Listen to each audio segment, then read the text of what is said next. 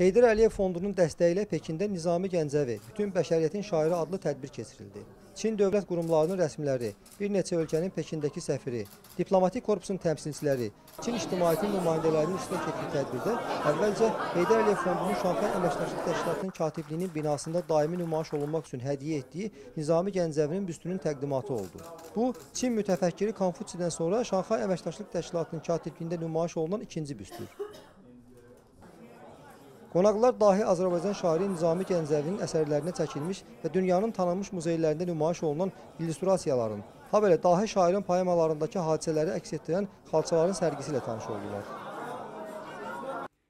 Şanxay Əməkdaşlıq Təşkilatının baş katibi Vladimir Norov dahi Azərbaycan şair və mütəfəkkiri Nizami Gəncəvinin xəmsəsinin təkcə şərqin deyil, bütünlükdə dünya ədəbiyyatının inkişafına böyük töhfə verdiyini bildirdi. O, şərq intibahının banisi hesab edilən Nizami Gəncəvinin yaradıcılığının ölməz və bəşəri olduğunu, məhz Nizaminin yaradıcılığı ilə şərq poeziyasının başladığını vurğuladı.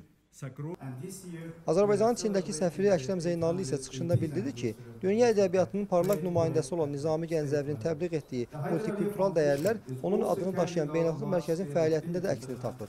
Diplomat fəaliyyətinin əsas istiqamətlərindən biri Azərbaycan mədəniyyətinin dünyada tanıdılması olan Heydər Əliyev Fondunun dahi şair Nizami Gəncəvi irsinin təbliğinə də böyük diqqət ayırdığını vurğuladı. Bu istiqamətdə şairin əsərləri bir neçə dilə tərcümə olunub. Müxtəlif şəhərlərdə sərgi və təqdimatlar keçirilib. Tədbirdə Nizami Gəncəvinin Pekinin Çayan Parkındakı büstünün müəllifi, heykəltaraş rəssam Yuan Sikunun Prezident İlham Əliyev tərəfindən Azərbaycan ilə Çin arasında mədəni əlaqələrin inkişafındakı xidmətlərinə görə təltif olunduğu dostluq ordeni və onun vəsiqəsi müəllifə təqdim olundu. Sonra tədbirdə dahi şairin yaradıcılığına həsr olunan film nümayiş etdirildi.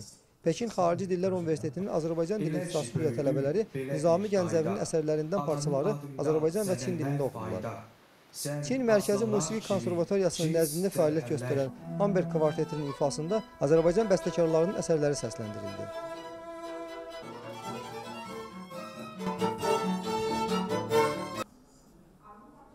Sonda mərasim iştirakçılarına Heydər Əliyev Fondunun Azərbaycanın mədəni irsinə aid nəşrləri, o cümlədən Nizami Gəncəvinin əsərləri daxil edən kitablar, bukletlər, CD-lər təqdim olundu.